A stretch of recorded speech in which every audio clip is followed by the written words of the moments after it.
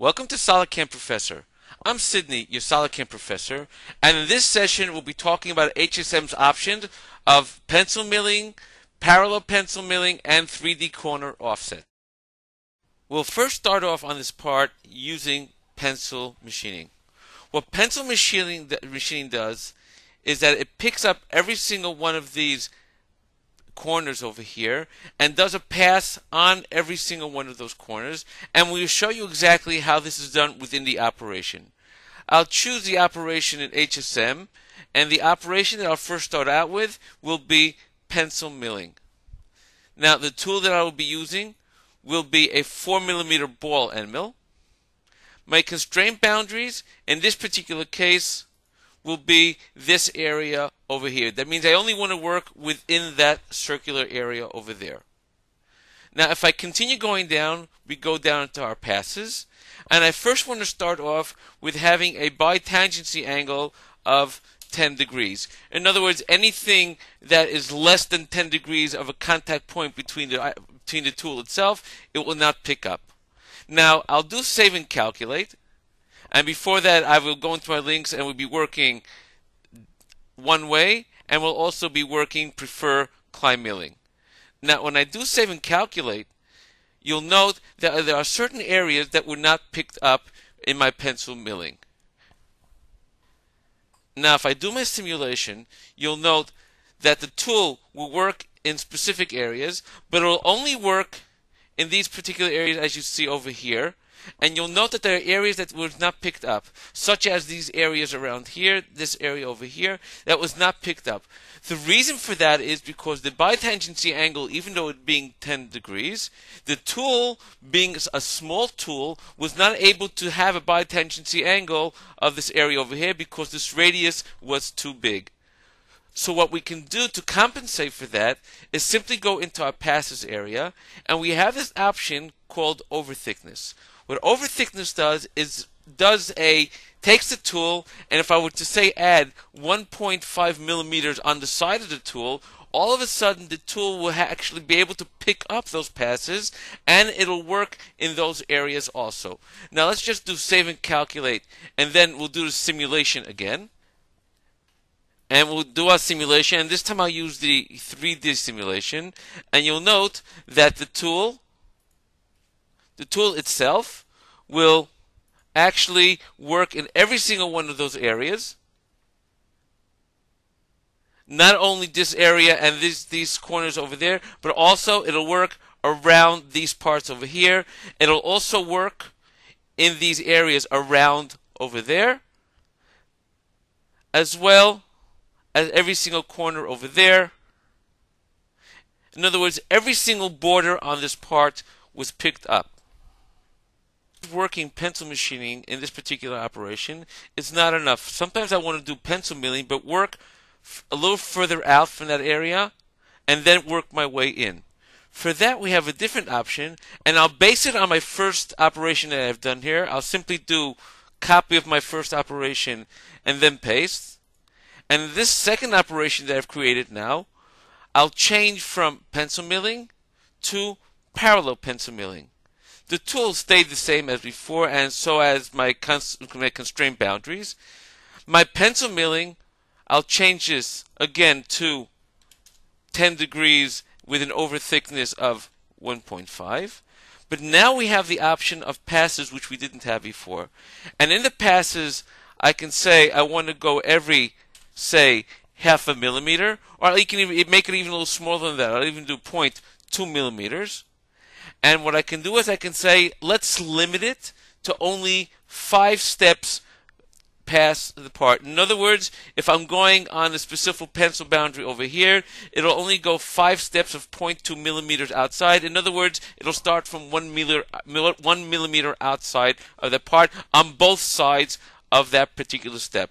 Let's take a look at our link area first, and we'll keep it at one way or we can do bidirectional. And I'll leave it right now at one way. And now we'll just do simple save and calculate and then we'll simulate our part. And in the simulation itself again I'll be using the 3D simulation. You'll note that the tool will work in that area, slowly working its way around.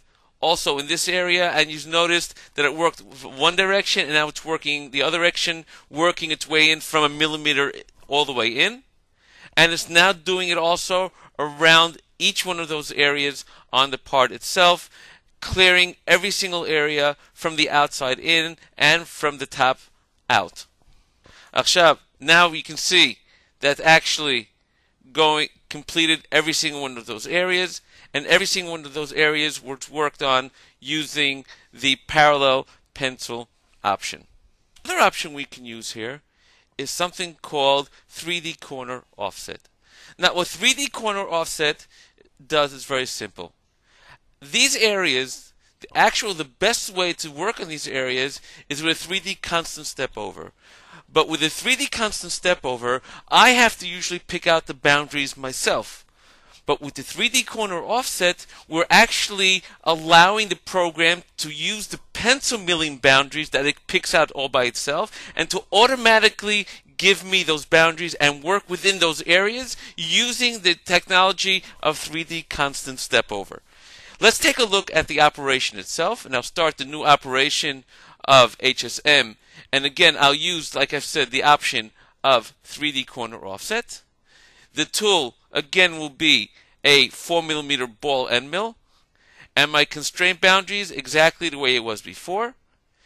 In my pencil passes, we'll use the exact same param parameters I've used before of giving an over thickness of 1.5 with a bitangency angle of 10 degrees.